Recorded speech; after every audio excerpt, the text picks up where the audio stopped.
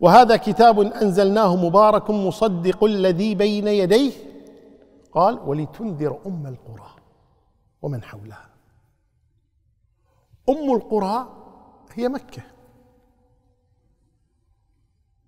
وفي آية أخرى تبارك الذي نزل على عبده الكتاب الفرقان ليكون للعالمين نذيرا.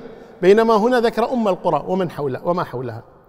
قال بعض أهل العلم هذا في أول الأمر بداية وأنذر عشيرتك الأقربين. فكانت لأم القرى مكة وما حولها. وبعضهم قال لا ما حولها الدنيا كلها. تشمل الدنيا كلها. أبدأ بأم القرى وهي مسقط رأس النبي صلى الله عليه وسلم ومنبع الدعوة إلى الله تبارك وتعالى ومنها خرج نور النبوة ثم ينطلق إلى ما حولها أي إلى الدنيا كلها. وخص أم القرى هنا قال أهل العلم لأسباب. منها أنها قبلة الناس جميعا. هي القبلة. الشيء الثاني أن هذه المدينة أو هذه القرية هي فيها أول بيت وضع للناس وهو مكة.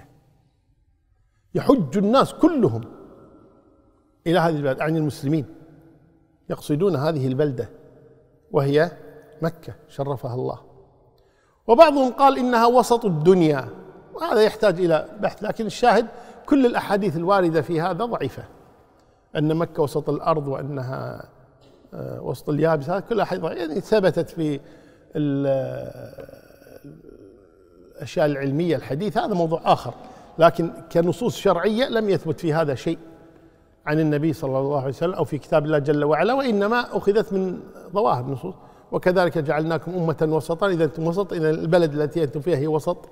الدنيا كل هذا الكلام يعني لا لا دليل عليه حقيقة. لكن الشاهد من هذا أن قول الله تبارك لتنذر أم القرى أي مكة بالإجماع هي مكة وما حولها. فتشمل الناس جميعا. تنطلق الدعوة من مكة إلى الدنيا كلها. وفيها قراءتان. لتنذر أم القرى ولينذر أم القرى. لينذر.